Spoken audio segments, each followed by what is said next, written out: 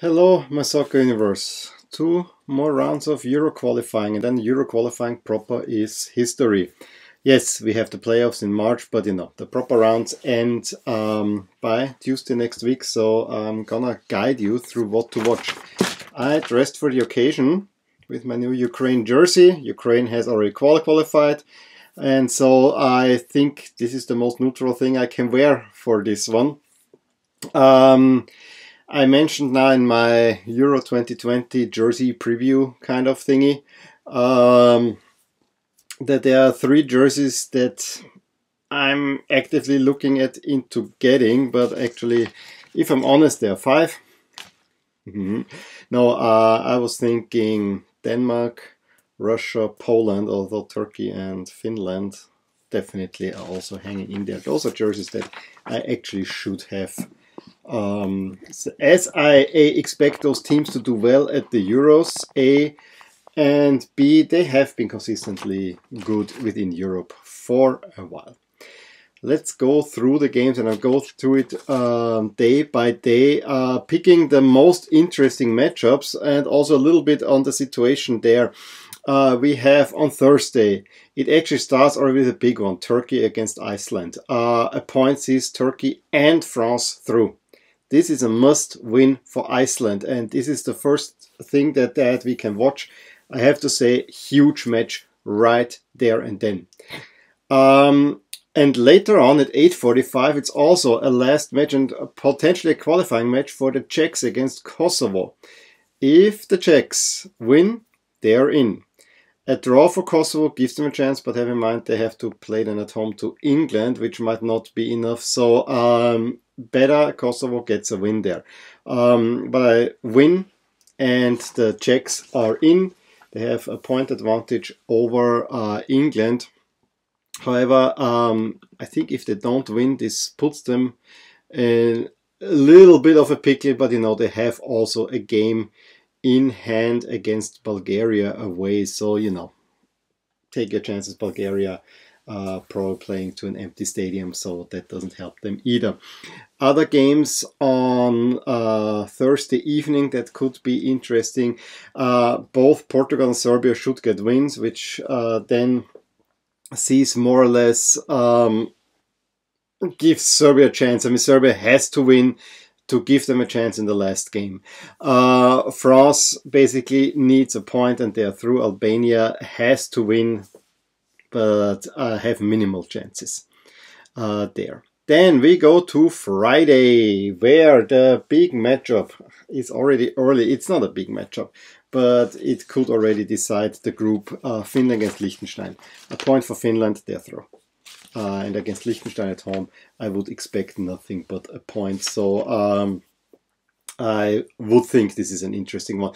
Probably to be absolutely safe, they have to win it. So I, I better win it, uh, Armenia and Bosnia could still draw level with Finland, especially if Bosnia potentially holding a head-to-head against Finland. So better Finland wins it. They're in. Should be no problem.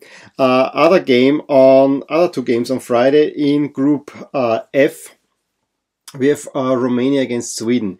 This is a tricky one. Romania needs to win this one. If Sweden wins this one, they are through if Romania wins that one, uh, they put themselves in a good position, but they then have to play Spain, and Sweden has the Faroe Islands. So uh, not all, all is lost for Sweden. Norway plays the Faroe Islands early. They are more or less out of the running. So those are the games um, that happen on Friday. I have to say Denmark and Switzerland better get their wins. Uh, that put, put Ireland under pressure. If they lose points there, then Ireland has a chance. And then there's a really nice game on Friday with probably at the moment it's played nothing bearing on it. Bosnia against Italy. Uh, the first game was such a glorious game that you would expect something there, um, but Italy is already qualified and Bosnia most likely will not qualify. Saturday. On Saturday, I actually have three games, and they're all late games. Uh, yes, the early games we have Wales needs to get the win in Azerbaijan to give themselves a chance. Uh, Russia Belgium, great matchup. It's just uh, both are qualified. They play literally for nothing. Uh, it's a glorified friendly. So we all have to look in the evening. Group C, Northern Ireland against Netherlands. This is a last chance for the for Northern Ireland. They gave the Dutch quite the fight uh, last time around, so maybe if the Netherlands win, it's done. I think even a point is enough for the Netherlands. Just let me check the standing there. Uh, yeah, a point is enough for the Netherlands to go through, and that means the same thing for Germany. So uh, that is basically where it stands. Um, then Croatia, Slovakia. These are the top two teams currently in that group, which is um, Group E. It's the last game for Croatia. So if Croatia wins, they're in. Should they only get a point, that leaves them uh, vulnerable to Hungary with a win swoop in. Um, although I don't know um, the uh, head-to-head, maybe that could um, that could could could be iffy, but you know Slovakia is also only a point behind uh, Croatia. This is a potential backbreaker for Croatia. Better win it and you're in. I honestly have to have to say I'm not 100% how it goes. Slovakia I think still looks fine because they play Azerbaijan uh, in the last game. It's the last game for Croatia. Uh, Saturday also uh, we have Group G. Austria needs a point against Northern Macedonia to be in. If Austria should not make the point, Israel needs to win against Poland to have a chance. So Austria looks pretty good. Same goes for Slovenia against Latvia, which is played early since uh, UEFA is not giving them any chance. So that's Saturday. Sunday then is the last match day, and there early at three o'clock, I have to say, is already um, Serbia Ukraine. Must win for Serbia and hoping that Luxembourg does something against Portugal. Um, other than that, I don't think there's much. I mean, Kosovo England, it depends on what Kosovo did in the Czech Republic. Same goes for Bulgaria and the Czech Republic. Uh, maybe there's something to play for, maybe there isn't. Um, also, uh, Turkey plays at Andorra. probably will be three points, but they already might be qualified. Same goes for Albania against France. France, I don't see anything happening uh, in that group. On Monday, I think the biggest game on Monday is probably Ireland against Denmark. Uh, this is the last chance for Ireland. They need this win if uh, Switzerland and uh, Denmark got their wins on um, Friday. Um, then also depending on what Romania did, Spain against Romania.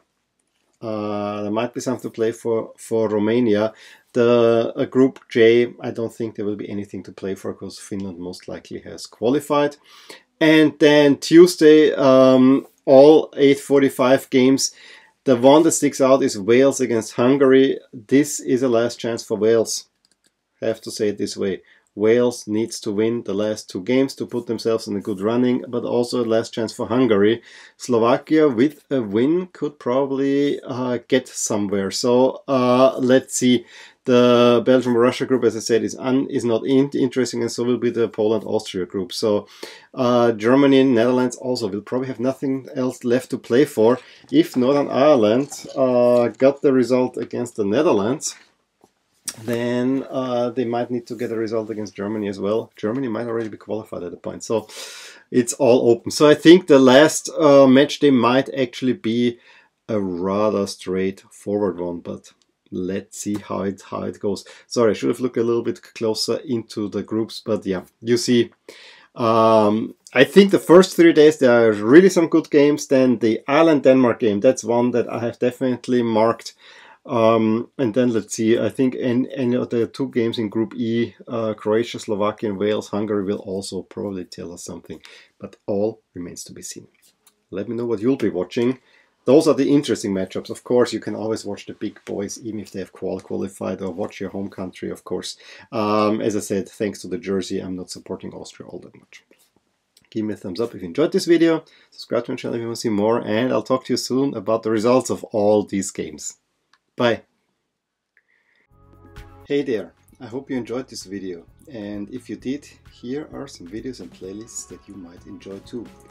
Also consider subscribing to my channel to keep you updated with all things that are rotating in my soccer universe. And with that, I wanna wish you a wonderful day. Bye.